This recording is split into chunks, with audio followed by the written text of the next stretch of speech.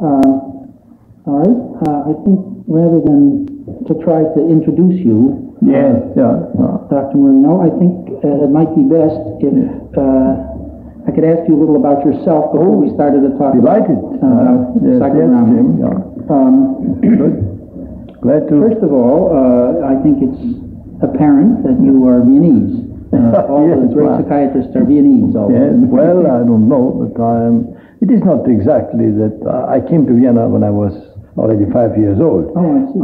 I, I was born on a, on a boat, the Black Sea, and uh, uh, my, I always thought, and people thought that I'll be an internationalist all my life.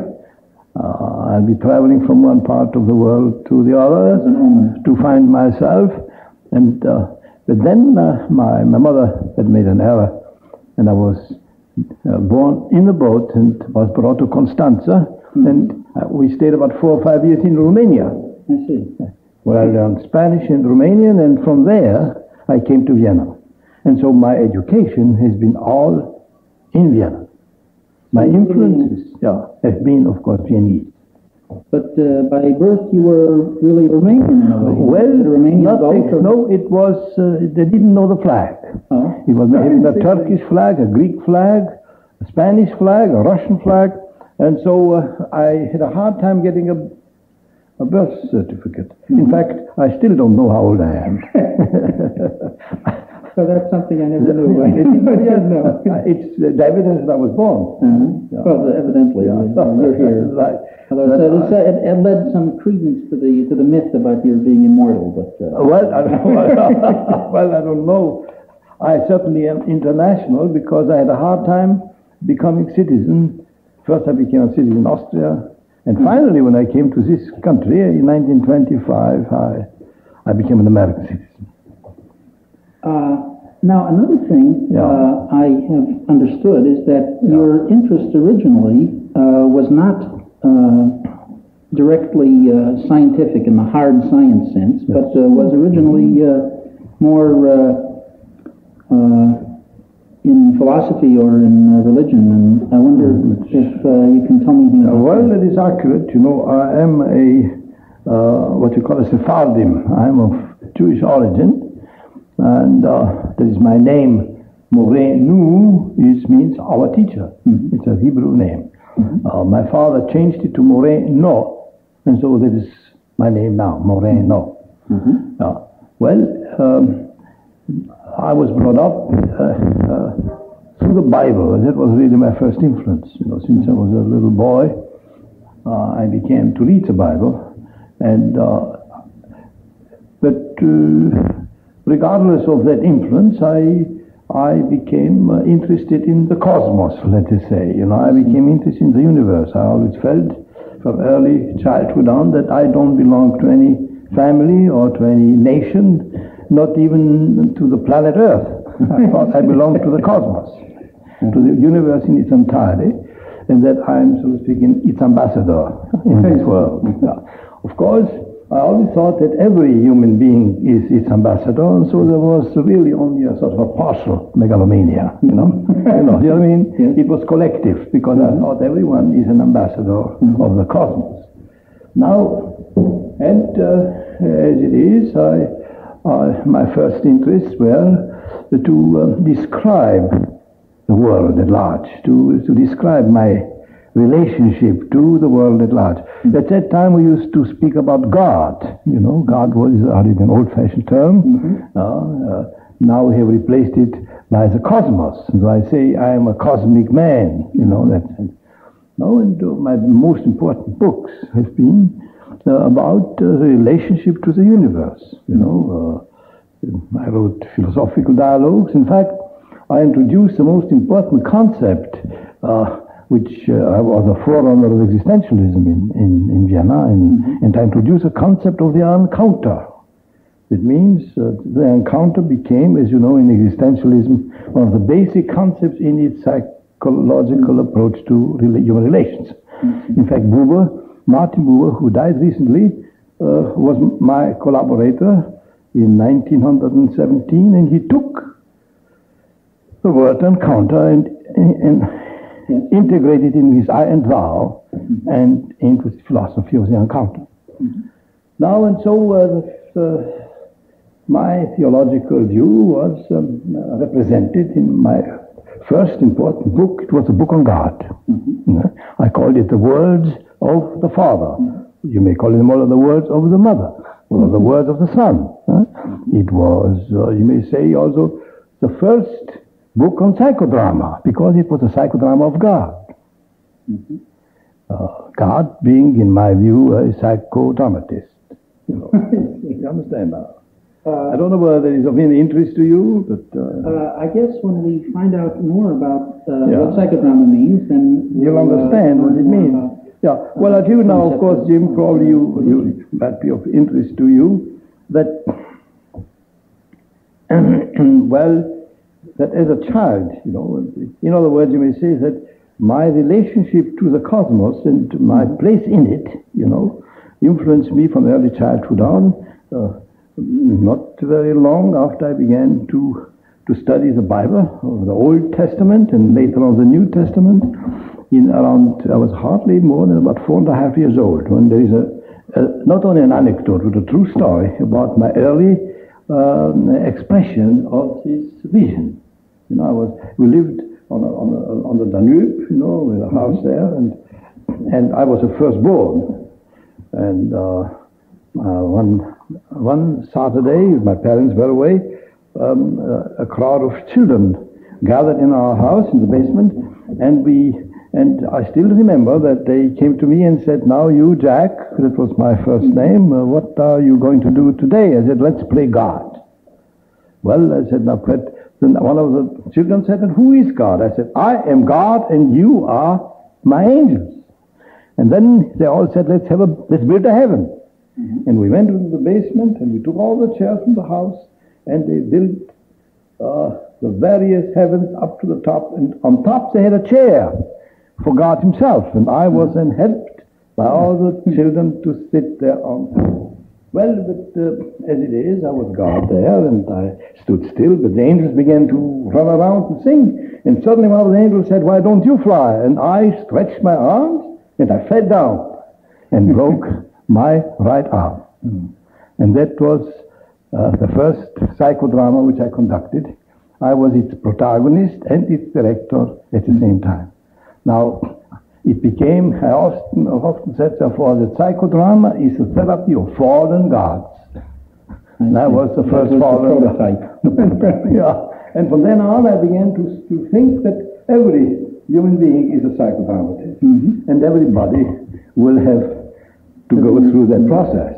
Everyone starts off with the, with the fantasies of omnipotence and the need to have it, but the need to face reality. in And reality, and then of course maybe the, micro, the, the macrocosmos becomes a microcosmos, and the big God becomes a little God. Yeah. And that was me.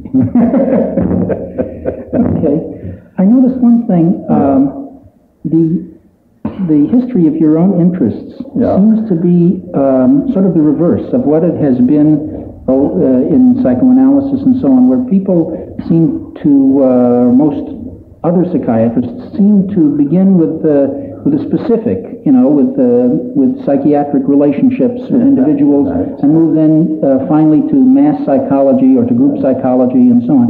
And you seem to started with the cosmos and then moved to an interest in groups, and uh, and uh, then only slowly did you get to the point of an interest in, let's say, uh, what you call a psychodrama à deux with only uh, two people. But you started with uh, with the larger and moved to the smaller. Well, you may say that. I started with the whole world, and that, that uh, influenced me to develop group psychotherapy and mass psychiatry and psychodrama because I was influenced by the needs of the entire cosmos to develop interrelationships in order to, to survive.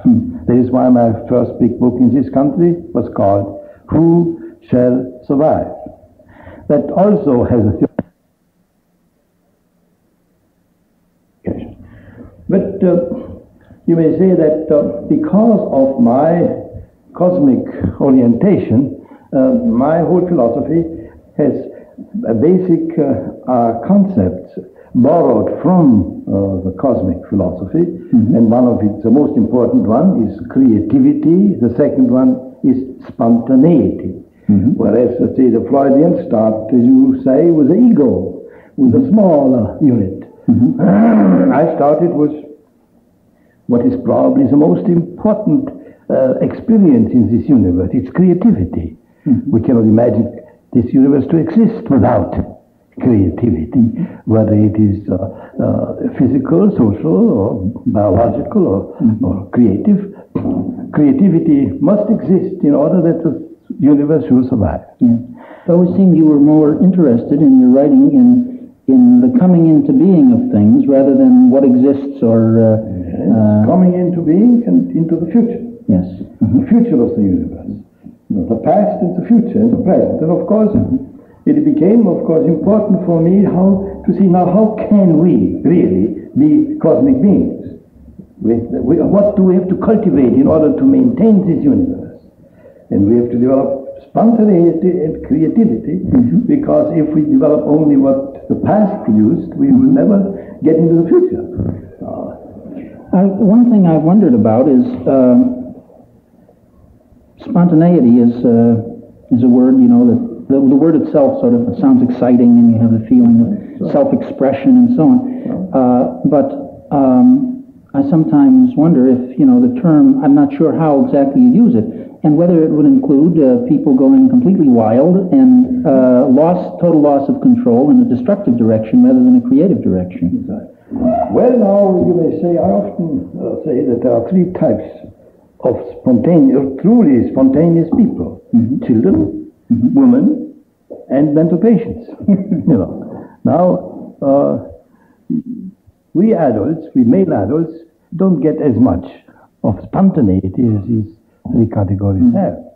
However, spontaneity as it is defined by me is means it is uh, an adequate uh, response to a new situation. Now we have to have spontaneity in order to, to meet a situation as it confronts one, just like now. I see you here, Jim, across the desk, and uh, um, uh, the situation is new. I've never, uh, I haven't been prepared for this particular production. I'm improvising it to meet the requirements of the situation.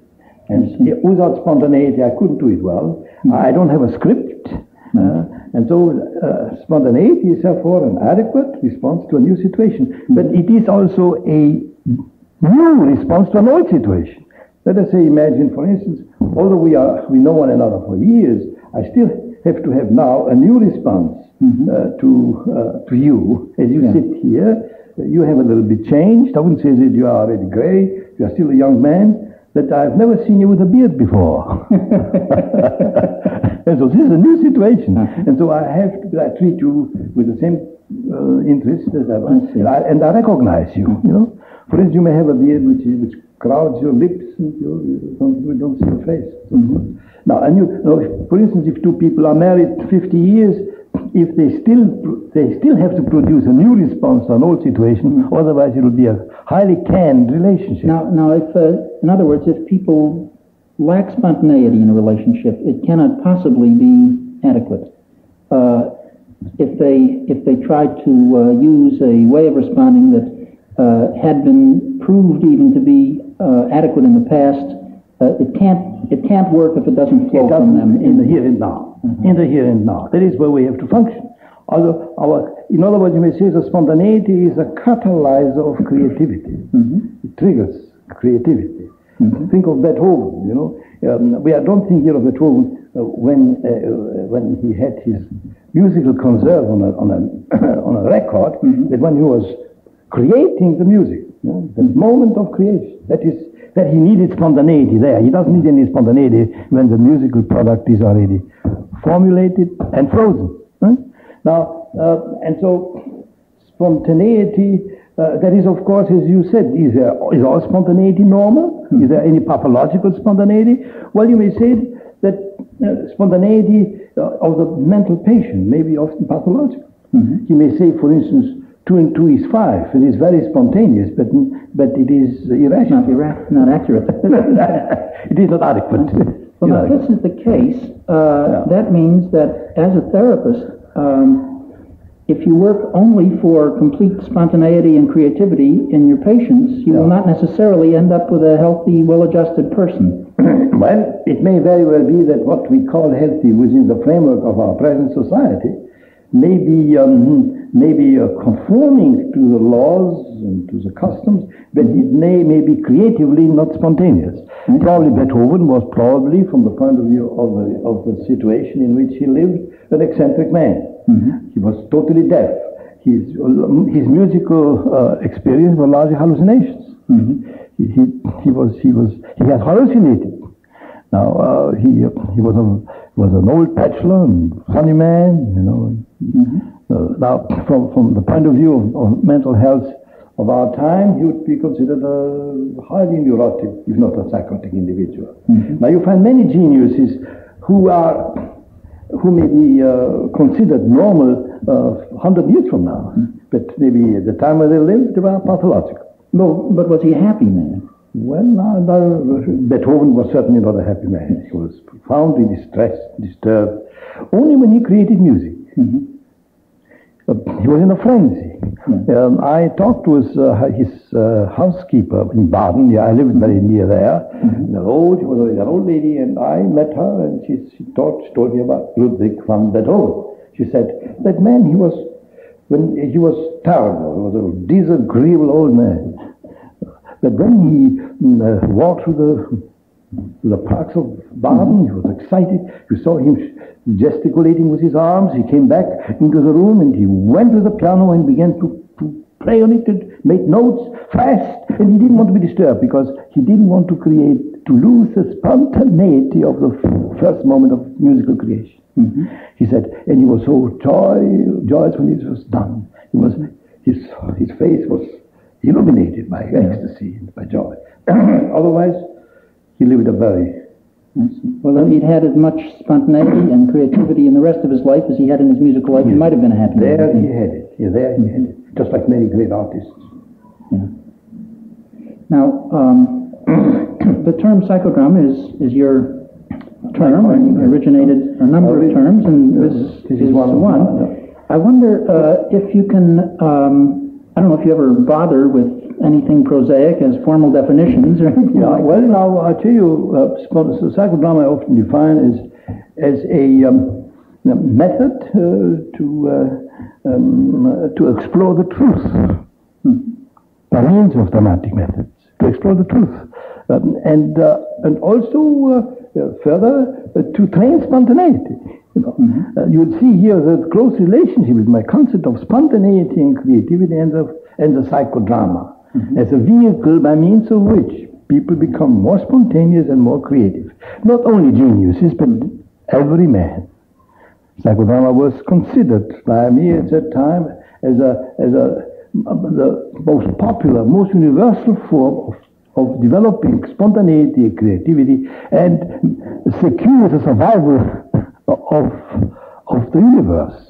And it was, it was to the theater that you, uh, you looked. Uh, Yeah, well, the theater influenced me greatly, uh, well, uh, besides the Bible, you may say, besides the religious. Um, the theater represented for me the greatest effort, uh, cultivated effort of man to, to train and to um, express his imagination in action.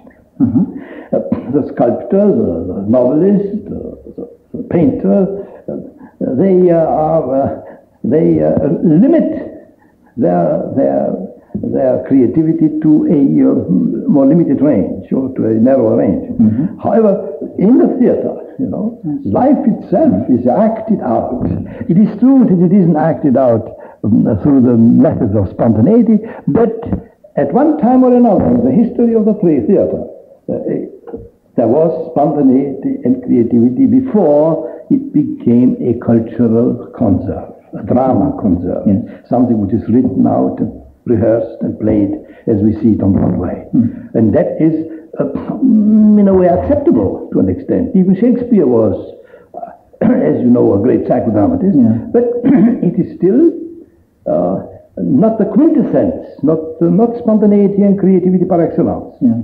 And that is, of course, where we are moving into, into the theater of the future, into the society of the future, into the future of man, when he'll be a creative, cosmic, genius type of being. I remember uh, in my some experience in the in the theater that uh, that it seemed to me that actors tended to be more um, wary of their egos if they didn't get enough applause. They, they would tend to be more hurt than than even a musician because it wasn't just their music that they'd given, but in a way their whole self. And if this wasn't accepted, it was a bigger uh, uh, a bigger threat to them. And as if uh, this way the theater is has the broadest range of all of the uh, forms the of self-expression that, Yeah. man has developed. Yeah, that of course leads very strongly to to the reason why I look also not only at the cosmos but at the theater as um, as in our, in the life of men. You know, the most creative way of of um, portraying and expressing all the dimensions of life. Because you know, the great dramatists uh, and the great theater combined all this music, dance, action, drama, life itself in all its forms. And so among the arts, the, I consider the drama as the highest form, and psychodrama is the highest form of therapy. Okay, now I, one thing uh, that I have felt, and I wonder if you have any uh, theoretical structure behind it.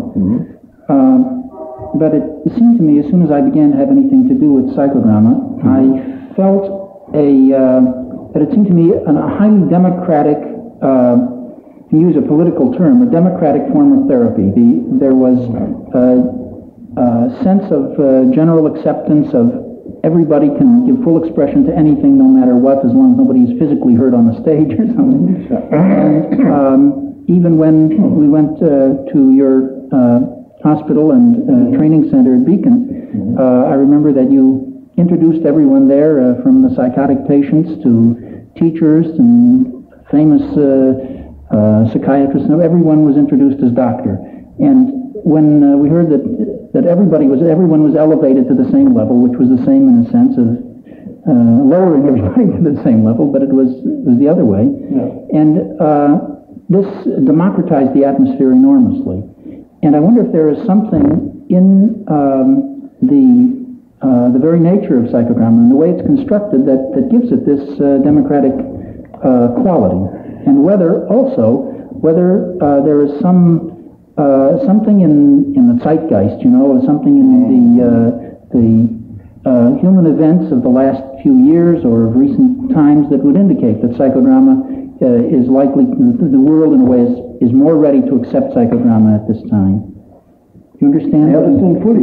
Well, uh, you see, uh, that all goes back to my religious concept of the encounter. Um, the encounter um, is a uh, relationship of two or more individuals on the spur of the moment who have the same opportunity of confrontation, you know, confronting each other on all levels.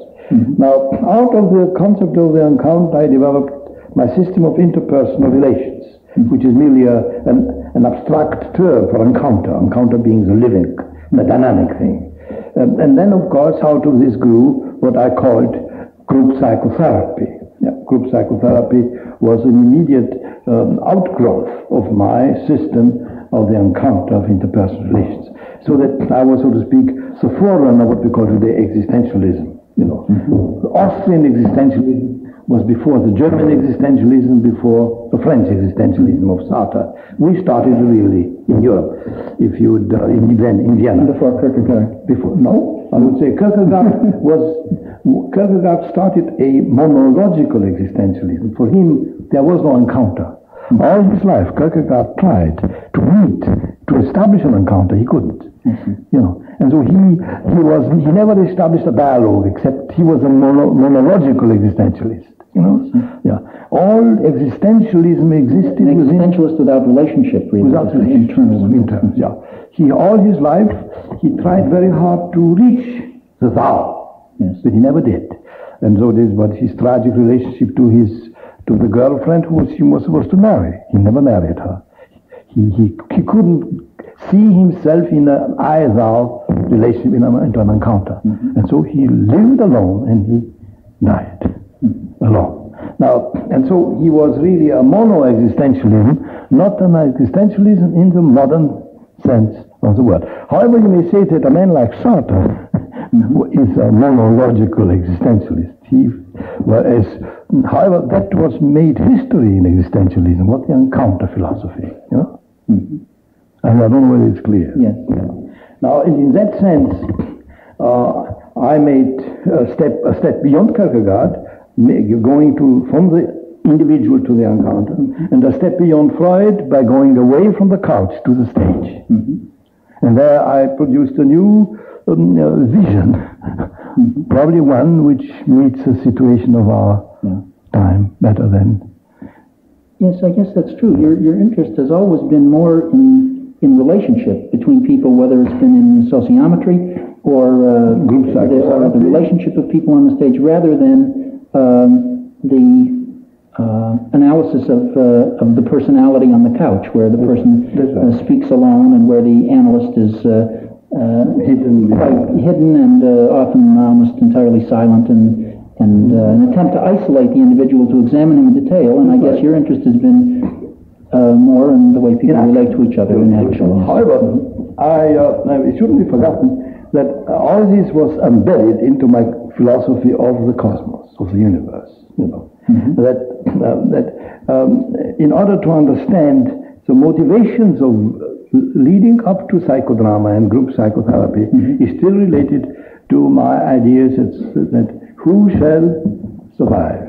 What, what did you mean? That was not clear to me. Why, why did you use that title in your book on Now, it social? may interest you that the late William Alanson White, you know, who was um, my sponsor at that time, he uh, suggested I should call the book, which I wrote uh, in the early 30s, and which, uh, which was a foundation of sociometry and of early group psychotherapy, uh, Human Interrelations. And I said, no, I will call it Who Shall Survive. Now, mm, the question has always been asked, why who shall survive? Well, uh, I was interested in society as an, a whole. Um, uh, Darwin's concept of survival related itself to biological survival.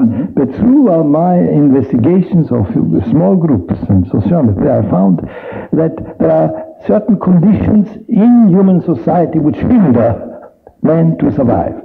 Not, not only poverty, but the position of an individual in the group. If he's an isolate, he gets no job, he gets no girl. If he's rejected, he is thrown out of the society by the forces of society. Regard, he may be biologically very fit, but socially not fit to survive.